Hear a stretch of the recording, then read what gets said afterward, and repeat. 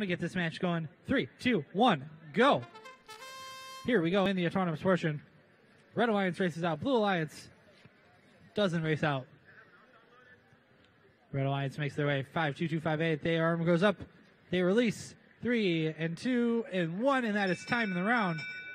Red Alliance wins autonomous. Drivers take control in three, two, one, go. Red Alliance takes that quick autonomous bonus, but the Alliance, they're not done yet. They make their way out. They have one mobile goal in their possession.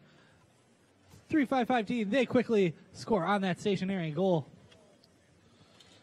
Our teams make their way across the field. Blue line starts to, to rack up 7776B. They're going to pick up another one of those cones. 355D playing a little defense, getting into a bit of a shoving match in the middle of the field with 60X. 776B. They go, oh, they deliver. That'll be worth 20 points. Plus, they have the highest stack in that zone. That'll be worth a bonus five points at the end of the match. 5 2 5A. They got a big stack, and they make a delivery for the Red Alliance.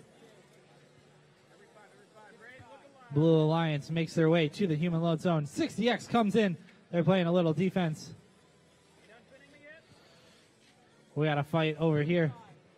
Down, down goes that human load cone.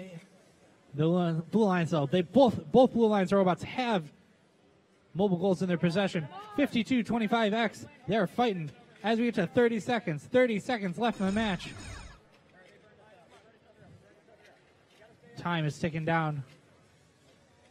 52-25A. They have built a very tall stack over there. They make their way. They're in position. Can they make the delivery? And they do. That's going to be in that five-point zone. As we get down to 10 seconds. 10 seconds left in the match. A lot of defense being played.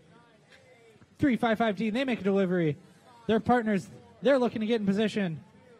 They make a delivery in that five-point zone. That's time in the round. Lots of scoring all over the match.